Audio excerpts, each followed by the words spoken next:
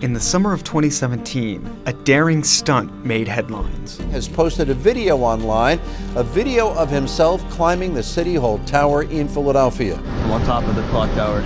Carson King, an urban explorer, made a bold climb without a harness and without permission.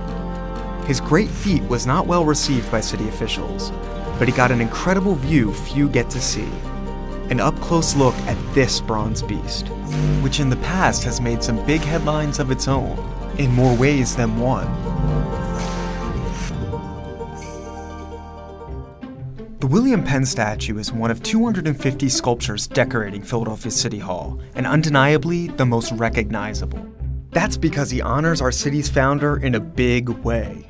He's the tallest sculpture on top of any building in the world. Just look at the numbers. At 37 feet, he's roughly six times the height of the real Billy Penn. He weighs nearly 27 tons, or in Philly metrics, more than 106,000 cheesesteaks heavy. And that's not all solid mass. The statue is actually hollow, with ladders inside leading up to a small door on the top of his hat. And that tree stump behind his leg? It's not just there for show, it's likely designed for support and stability.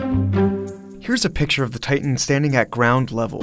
Check out the bystanders. They are dwarfed in comparison. He's so massive that he was hoisted into place in 14 separate pieces.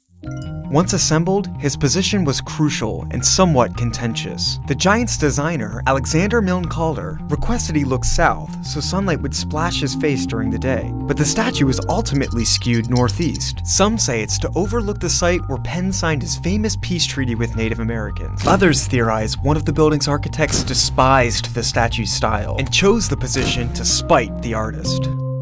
Whatever the reason, Penn's Perch made City Hall the tallest occupied building in the world for more than a decade. It also formed the basis of a citywide gentleman's agreement, which declared no building can be taller than the brim of his hat. But in the 1980s, this decades old handshake was broken with the construction of One Liberty Place. Some believe this dealbreaker unleashed a terrible curse, one that plagued our city sports teams and set them on a losing streak. It wasn't until the Phillies won the 2008 World Series that this curse was finally laid to rest. But was this victory just mere luck? Believers in the curse don't think it was. They say the broken gentleman's agreement was actually restored just months before by the clever placement of a tiny replica statue on the top of Philly's then tallest building, making Billy Penn once again the city's peak. Whether you believe the superstition or not, it's hard to ignore the role the William Penn statue plays in our city.